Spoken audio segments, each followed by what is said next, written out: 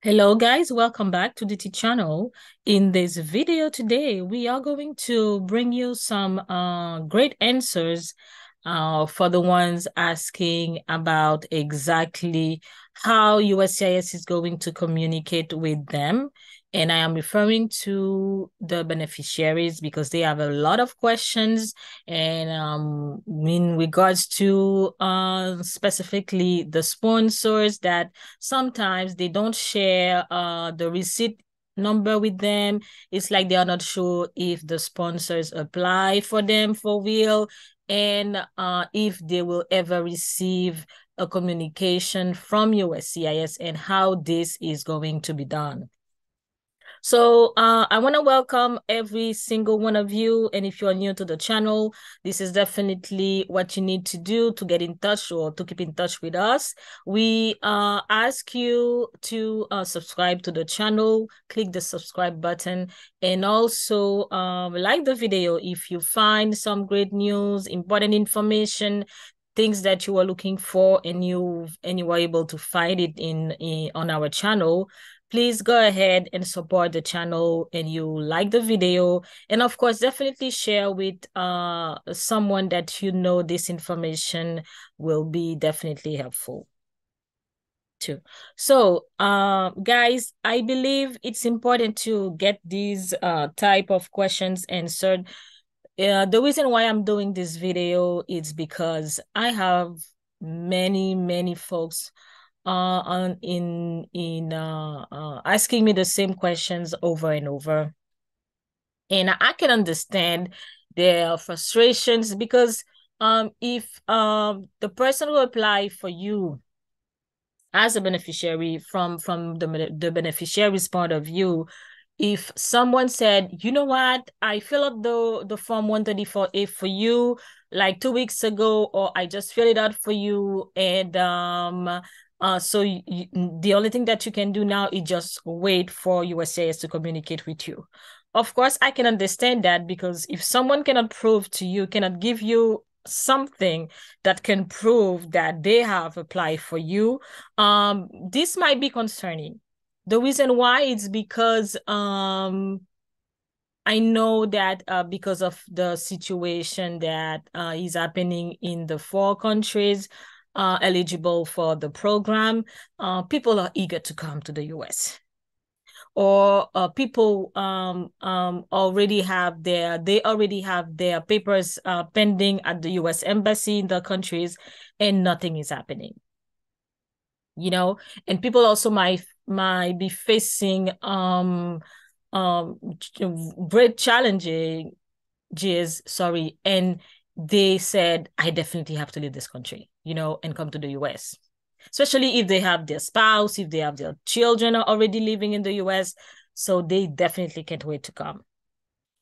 And uh, guys, what I want to remind you is that um, understand that the first the first communication that the uh, USCIS is going to have uh, in regards to your case is the receipt that is going to be sent directly to the sponsor.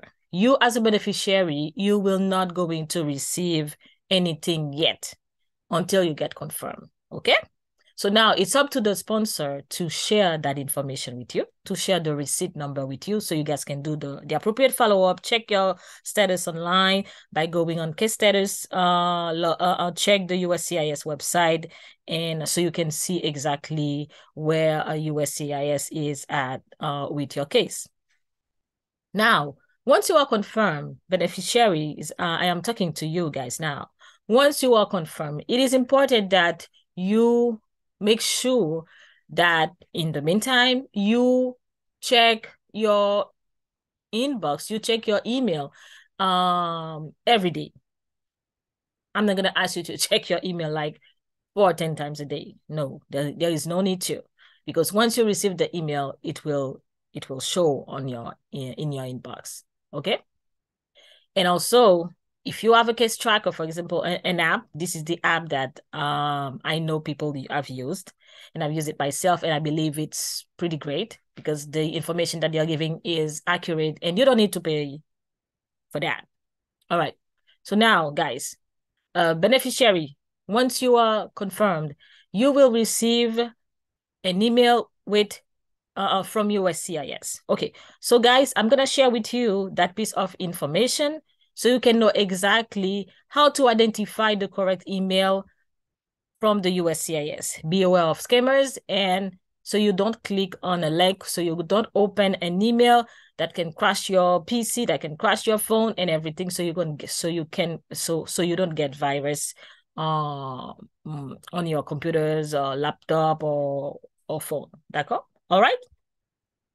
And before I do that, um, if you are still listening, if you are still watching the video, that I, I believe it's because you have uh, already found great information. Therefore, uh, it is time for you to subscribe to the channel. And uh, and uh, we are going to move on to the next step. Have you done that? I really would like to know how many people are subscribed to the channel um, because of this video. So it will be a really great value and encouragement to the channel to know exactly if this video uh, was helpful and how it has contributed to the expansion of the channel. All right, guys. So now this is uh, the best time ever that we are going to spend uh, here watching the video. So guys, look at that. Okay. So you have to make sure that before you click on any email, you have to check the the the the the the email address. Making sure that the email address is written properly makes sense uh because people are like i'm telling you they are ready to do anything to access your personal information. So therefore be aware of that. Okay. Really be careful so guys that's the email address that um the uscis is going to use to communicate with you and that's the first email that you are going to receive from the USCIS. It will have right here the the the the case number. It is right here. Okay, so it is hidden because it's personal information. And then you will see the name of the form that was filled out for you, which is the I-134A. And the notice is confirmation notice. All right. So the first one that the, the sponsor received after filling out the form for you was the receipt now this one is saying confirmation notice. All right. And look at that. Here's the email address. All right. Make sure, guys. And I and I and I and I and I'm really trying and I try my best to make this uh, picture as a screenshot as big as possible so you guys can see with me exactly which email address that the USCIS is going to use and this is when whenever you see do not reply that means there is no need to reply to that email because no one is going to receive it. It's gonna like because it's it is not it is not uh, something that it's not an email that uh, someone that that belongs to someone and and the person can open and read your email. So the only way that you can communicate back to the USCIS is by going to your myuscis.gov or once you are going to open it a an account with them and after that or you can ask the sponsor to communicate with them for you on your or on your behalf. All right so that's the first email. Now once you are confirmed also the second email that you're going to receive is this one. So that's the title of the email. So of course here you are going to have your case number. That's the form that was filled out for you. And the notice is ac account acceptance notice and you guys can see with me, that is exactly the same email address that is used by the USCIS. Okay. Now, once you have asked, uh, uh, received that email, you have to go and open an account on uh on the USCIS MyGov that uh, uh, uh, website in order to have access to all the information in in order also to do uh, the the the necessary follow up that you need to do to uh, confirm your identity, and I, and I know after that you will uh continue with the next steps. I know it, it it's it's gonna be done through uh the app, the CBP One app. Guys, now I think you you have a better understanding how on how the USCIS is going to communicate with you once your case is has been confirmed And also, once your case has been uh, rejected, I'm not sure a um, um I don't believe I have uh people uh, on this channel uh, that have been rejected. Well, no one has shared that information with me, but for now, I know that you will also receive an email uh, from the USCIS informing you about the the status of your case. It has if if it has been confirmed or rejected. So now, guys, once you have received this notification, you will be able to create your account on my USCIS.gov website. And from there, once, once you have created this account, guys, which is great, because uh, you will be able to have access to the receipt, like the first receipt that the USCIS has previously shared with the sponsor. So you, you will have access to the receipt. You will also have access to um, the confirmation notice, okay? And this is also where you will receive your travel authorization after after completing all the all the steps that you that you that are required in order for you to receive your travel authorization. Okay.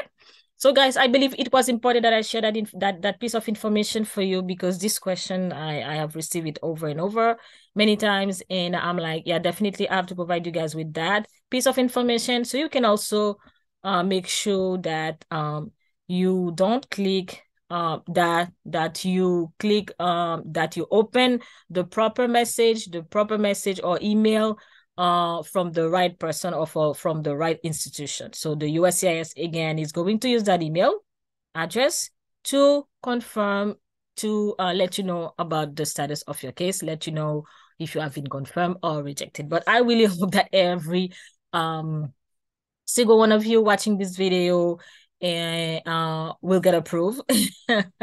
you know, every single one of you from all from from all four countries applying to come to the US through the Biden program. I really believe, I really hope that every single one of you will get approved. So guys, feel free to leave a comment. Let me know if you enjoyed the video, if you were able to receive uh, uh, uh great information, very helpful information. So let me know uh and uh like the video definitely i encourage you to subscribe to the channel. Activate the, the the notification bell because if you do not activate uh, uh the notification bell you will never be able to uh know exactly when a new video is out out there.